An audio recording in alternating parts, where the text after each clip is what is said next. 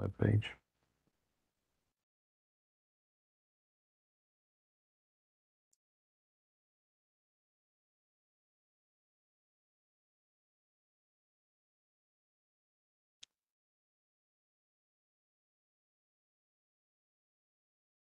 All right, we'll begin here shortly. Everyone can keep themselves muted or audio off until we uh, get to the end and we'll have questions. We also have a chat button. If you notice in the bottom right hand part of the WebEx interface, there's a chat button. You can post questions or comments in the chat at any time. Uh, this presentation will be recorded and will be posted to the website for the Haltom Road hazardous uh, roadway overtopping mitigation project, which you can easily get to by searching the city's website in the search feature. Just start typing Haltom, and several things come up. One of them is Haltom Road Flood Project. And That's our website for this project. All right, I show 635. Go ahead and get started. And again, um, I just click go ahead here. So this is the Haltom Road, Hazardous Roadway Overtopping Mitigation, or HROM. Um, meeting for water, sewer, paving, and drainage improvements. Coming to uh, this portion of Haltom Road uh, my name is Mike Crenshaw. I'm project manager. Also on the, the uh, meeting is um, James Wiederman, our Wiedermeyer, our assistant project manager, and Daniel Franklin, the engineer with Baird Hampton and Brown. And we have also uh, bid the project. So this is the meeting before construction. And We'll run through a few slides. This is very similar to the 30, 60, or 90% meetings you may have attended previously. Um, it's just now that we have bid the project and we have a start construction date. Want to come back and run through that again before they get started in construction. So again, this is just a quick location of where we're at, just south of 121 Airport Freeway and Haltom Road turns and, and goes due south from here. It crosses Dry Branch, where it had has overtopped in the past and flooded the roadway. And so we're proposing several improvements to, most importantly, prevent Dry Branch from overtopping and flooding the roadway, but also to make it uh, better uh, lit at night, uh, safer turning radius and the curvature of the road, and bring it up to its current city standards. So this is kind of the the limits of the project, just uh, around the, the corner portion, the turn portion there along Haltom Road. Currently today, the existing roadway is a uh, rural section, no curbing and uh, gutter, no paving, I mean, uh, no curb and gutter. It's just paving to a shoulder edge and then um, ends. So you can see this crossing is not very apparent and it's somewhat of a blind corner with all of the trees and overgrowth as well. The um, existing road um, that we're proposing, or the proposed changes to the existing road, I want to show kind of in a quick just step through real quick on what will change for the project. So this is an overview map of it. And we can see some line work here showing how the radius, the curvature of the road will change and where the new um, drainage structures will go. So it will begin um, further back and have a gentler turn, turning radius to it. And that will include a curb and gutter. So it will be a concrete paving, no longer asphalt, but concrete paving uh, with curb and gutter. with a portion of sidewalk so that when future pieces of the road are built or improved, um, that can be connected to as well. And the um, space that is provided uh, to the northwest there of the roadway at the top of the screen will be utilized for a maintenance ramp so that the city crews can more regularly and, on a planned schedule frequency get to the upstream side, which is the the top of the upper part of the page portion, and get to the upstream side and remove debris as it washes downstream and collects near the entrance of the culverts. So those can be cleared out regularly. And some storm drain will be added locally just to pick up that curb and gutter paving section.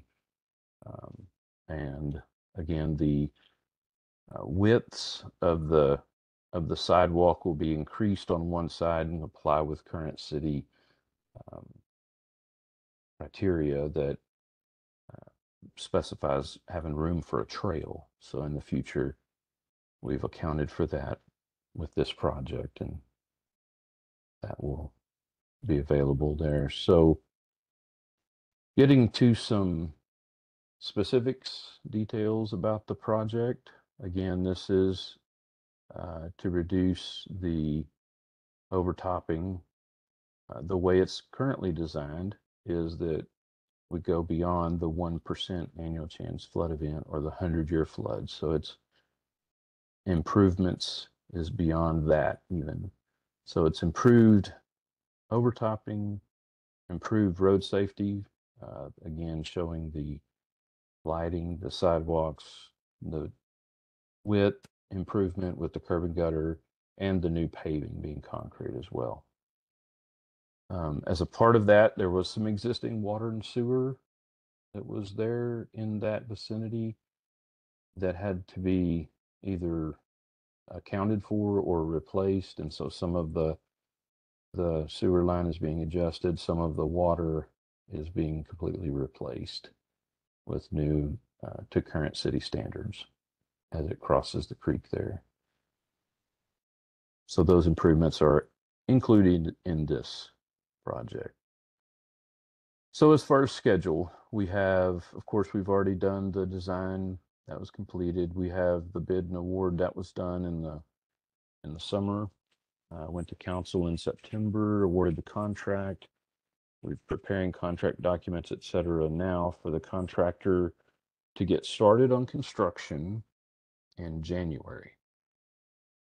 And upon last speaking with the contractor, they anticipate starting bright and early January 2 of 2024. So that'll be, they'll be ready to start on January of 2024. So that's just a couple months from now. And then construction is anticipated to take roughly a year. Uh, it could be done quicker. And one thing that will allow it to be done quicker is being able to close the road during construction. This question has come up in previous meetings that we've held. Um, we do anticipate uh, closing the road to through traffic during construction. Of course, there, there's a couple of residents that are right close to this location. They will have, you will have access at all times to your home. Um, of course, uh, there may be adjustments to that during construction to accommodate construction. Uh, the the contractor is Klutz Construction, and I'll have their contact information up in just a moment. And uh, as soon as we have our city inspector assigned, uh, we will have his contact information as well.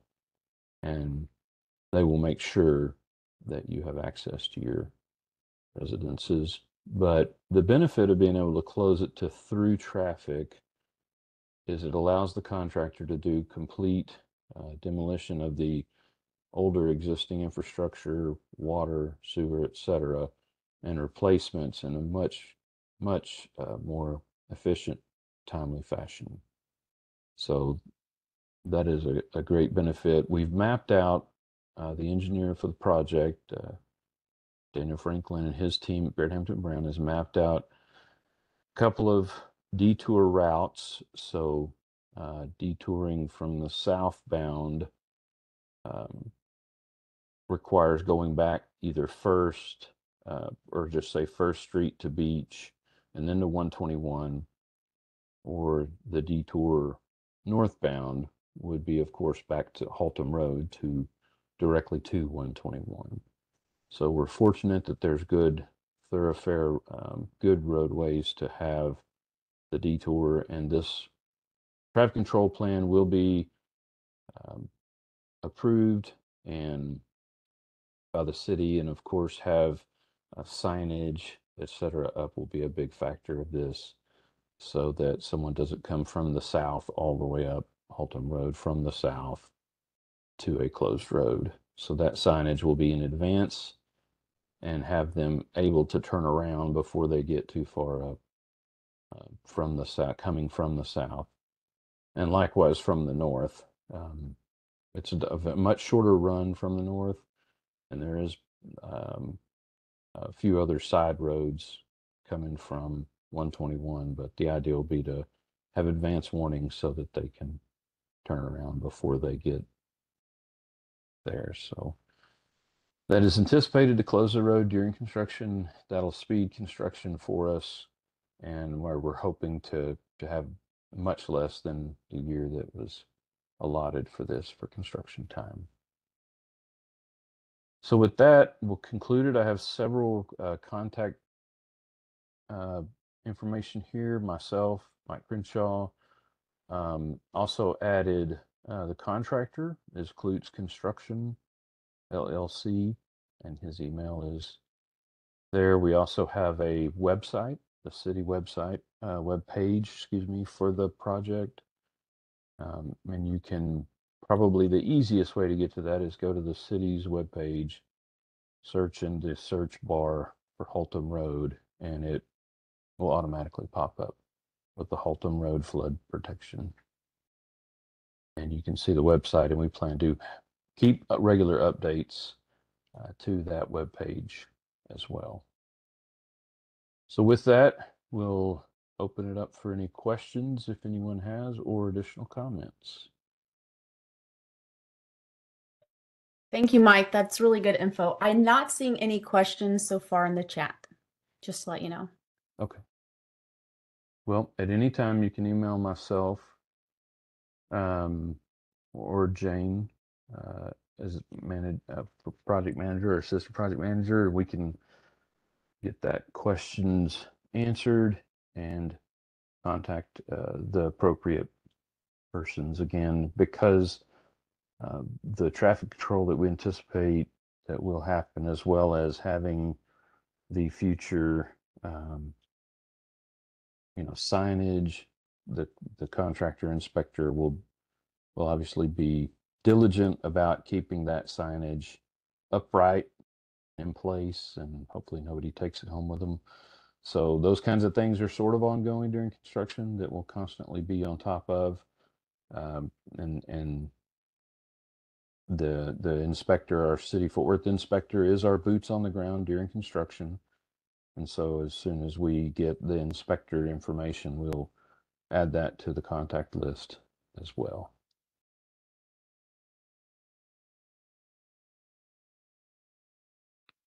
We don't have any questions, I think we can end the meeting. And if you think of anything afterwards or have anything come to mind, please uh, feel free to email us and let us know. Thank you.